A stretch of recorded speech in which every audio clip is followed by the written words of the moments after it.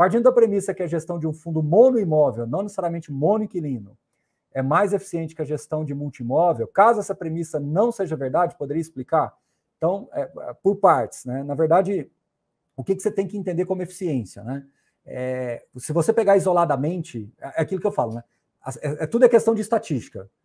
Estatisticamente, eu já até escrevi isso no nosso relatório, 55% dos fundos desses monos aí, gestão passiva ou falsos ativos, eles tiveram problemas graves, com geração de, de, de é, com perda substancial de renda, de patrimônio, etc.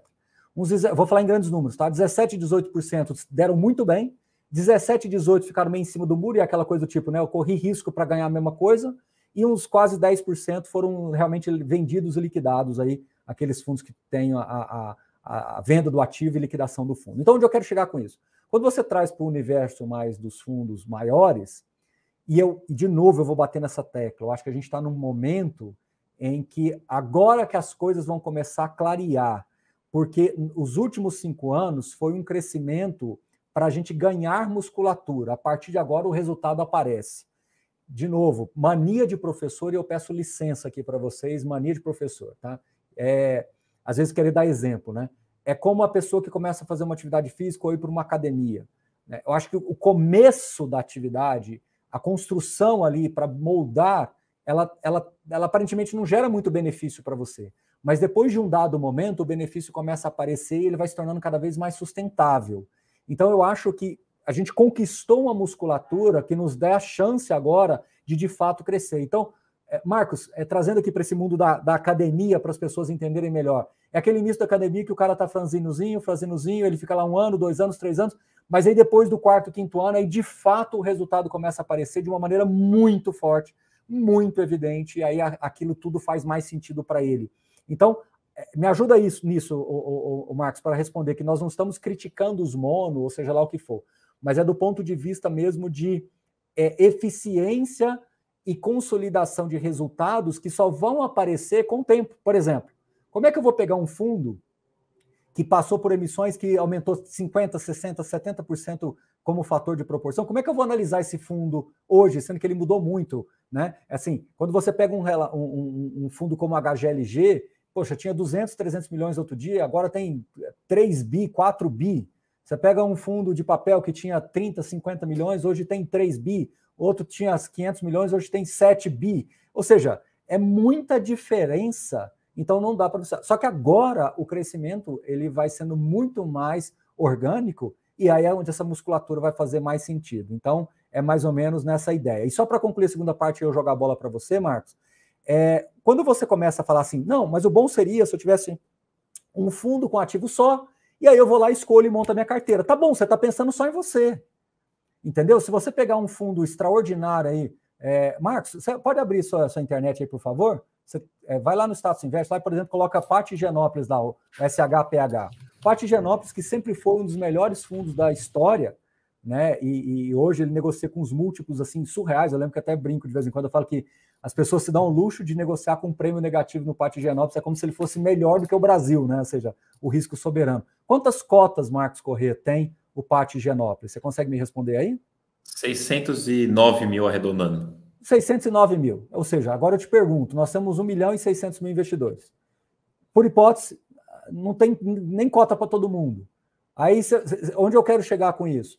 mesmo que eu tenha alguns, é, alguns centenas de fundos, você não consegue ter cota para todo mundo se a pessoa quiser montar a carteira. Segundo ponto, é caro, é caro você fazer a gestão de um fundo, todo o processo burocrático.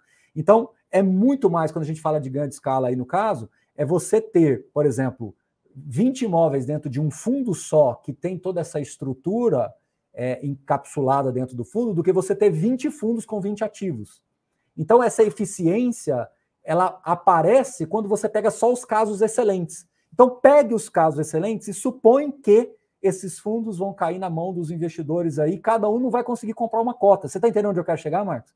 Então, assim, mesmo que eu fale para você, beleza, Gabriel, você está certo, vamos lá, é isso. Tá bom, não tem mercado para todo mundo, e eu estou falando de um mercado que ele não conseguiria se desenvolver. Por quê? Não tem essa, essa originação que vai conseguir sustentar um ativo por vez em cada estrutura de fundo, uma captação única, com mandato, um regulamento único, sabe, não, não tem o menor sentido. Então, o que, que nós precisamos fazer? Crescemos, conquistamos essa musculatura, vamos trabalhar agora para manter e expandi-la dentro de um grau de sustentabilidade melhor e mais eficiente. Esse, é, então, de novo, eu preciso de mais cinco anos agora de, de desta, dessa, dessa visão mais é, estável dos, desses fundos para que a gente possa fazer uma análise mais é, adequada, certo, Marcos? Exato. Uh, meu comentário talvez soe um pouco uma crítica, mas essa não é a minha intenção. É, se realmente os mono fossem mais eficientes, eles continuariam crescendo. Esse seria o padrão. Eu crescendo no sentido de aumentar a quantidade, aumentar a disponibilidade. Eles seriam um padrão. Como eles não são os mais eficientes, por, por vários dos motivos citados e por outros motivos, surgiu um novo modelo. Este novo modelo tem apresentado mais eficiência, porque quando você ganha mais tamanho, automaticamente você ganha algumas eficiências. Então, este novo modelo, aparentemente, e aí vem aquele ponto do, do, do quanto tempo a gente tem de análise, ele tem se provado, ou pelo menos a princípio, é mais eficiente. A questão é que a maioria desses fundos nasceram agora. Nasceram o quê? A gente está em 2022? Nasceram uns 4, 5 anos atrás, mais ou menos. Tem muitos. E, e durante esse período houve emissões, crescimentos, ah, problemas como pandemia. Então, assim, foi bem conturbado Tentativa de tributação. Ah, então é, nem, não vou nem começar esse assunto é, aqui. É, e realmente, assim, foram anos difíceis. Então, eles ainda não têm um histórico longo para a gente pegar aquele gráfico de 10 anos, aquele gráfico de 15 anos e falar, ó, isso aqui que é o que deu retorno, esses fundos de gestão é, ativa. A gente não tem isso ainda.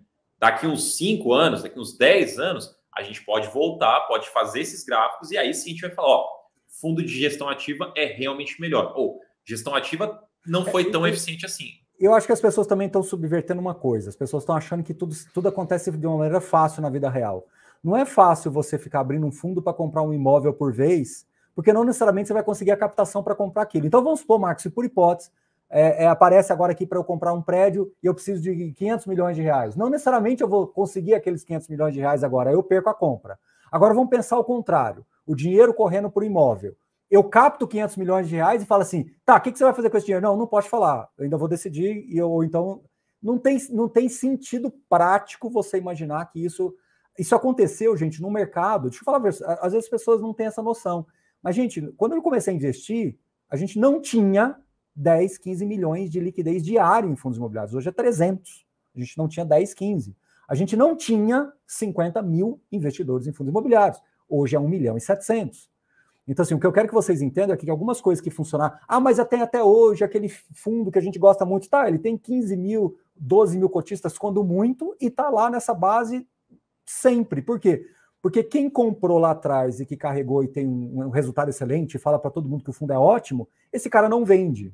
E ele também não consegue comprar mais, porque a cota estica, ele não tem book para comprar, entendeu? Então, assim, tudo você tem que pensar no ecossistema, para concluir essa questão do Gabriel. Se você não pensar no ecossistema, é, a, a, não dá. Imagina eu virar para minha tia e falar, tia, ó, investe em fundo imobiliário aí, só que é o seguinte, nós temos 2.400 fundos imobiliários disponíveis, você só vai montar uma carteira com 350, fica ótimo. Sabe, não, não tem nexo isso, não tem nexo.